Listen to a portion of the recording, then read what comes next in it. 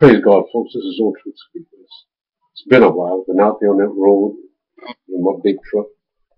Call him Old Joe. And it just keeps getting worse. In our community now, you know I'm in New York. But here in South Carolina, I mean, it's, it's the, the violence it is, uh, I'll put it this way, appalling. Black on black violence is at an all-time high. We're suffering from what is what is being recently called by uh, certain groups in the African American community the uh, kindergarten to prison pipeline, where most of the black men are incarcerated from 18 to 34. And the statistics just keep getting worse. In where I live, in this community, in the past week, or should I say five days, there's been a murder. Someone was wounded in another shooting. And there has been, well, I'll put it all together like this. There's been three shootings. Now we have the South Carolina law enforcement SLED, as they call it, here in our community, going up and down blocks, searching for information. It's just appalling. We need God. We've tried everything else. Ladies and gentlemen, I, I agree with the marches, and we have to unite, which every race on earth knoweth that we will not unite. But we need God. We need God like never before. You can march until your the soles of your your shoes come off. That's not going to do anything. Look, everywhere that we've marched, I'll, I'll put it this way, and I'll repeat it. In 1964, the first march, we were marching for jobs and justice.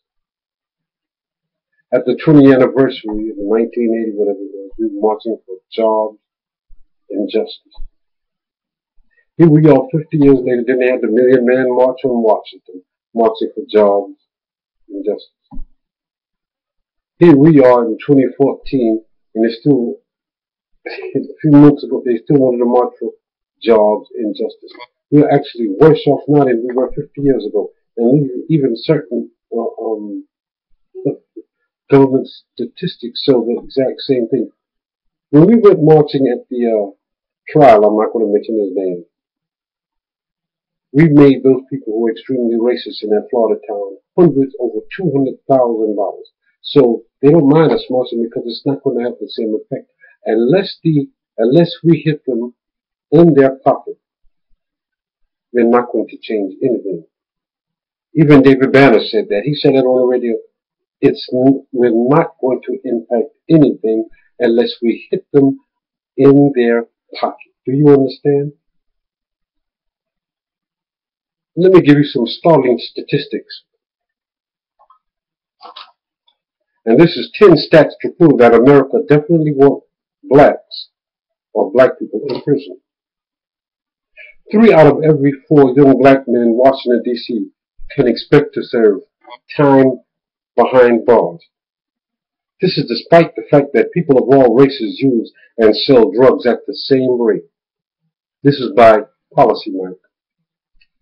One in every 15 black males age 18 or older is incarcerated. And this is by the ACLU, so this is not a nickel dime operation. Let me go on here. This is number three. Black men have a one in three lifetime likelihood of imprisonment. The Sentencing Project 2014, compared to one in 17 for white men and one in six for Latino men. Black women have a one in 18 lifetime likelihood of imprisonment.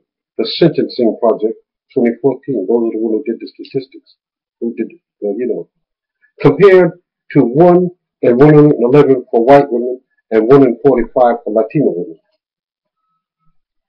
Black males have a 32% chance of serving time in prison at some point in their life, compared to 70% for Hispanic males and white males at 18 have an 8% chance. I'm sorry. Do you see the sentencing project? Do you understand?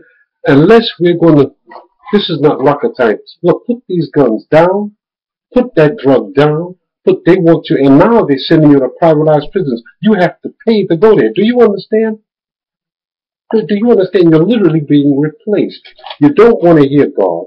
You think you're gangsters. You walk around with your pants down and you're murdering each other and all you're doing is wiping each other out. We have no friends. We've been vilified all over the world. Let me tell you something. Some people were mad at me in one video and they sent some uh, emails, but let me, I'll say what I want. Do you know why? I had uncles, one who was in Pearl Harbor, December 7th, 1941. One was in the South Pacific. Another one was in Europe, and we had a host of hosts of cousins.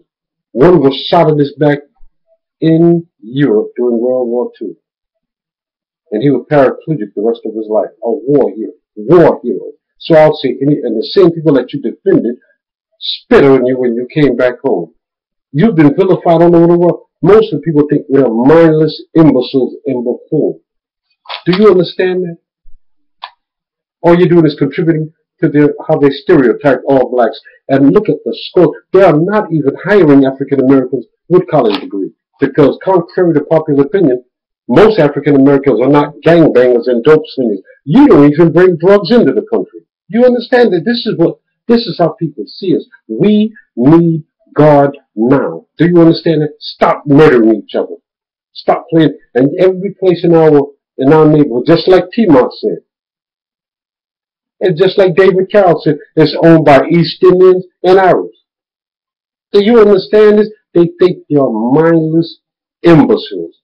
Stop it. Let's get on God's side so God can get on our side. Do you understand it? It is written in the Bible where God took one blood and made all the flesh of men to dwell upon the face of the earth. Do you understand that? Somebody's perception of me is, is, is irrelevant.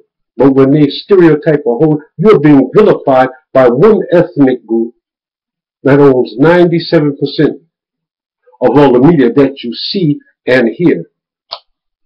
Do you understand? And I'm not racist, but these are the same people that you've been fighting for, that you fought for in World War II. Do, do you understand?